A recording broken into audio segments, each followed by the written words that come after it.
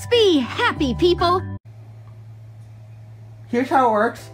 You go to the right, you press A, and then you keep on going right, and then press A again, and go to the tilt a little bit right, and here's how it works. Press B, and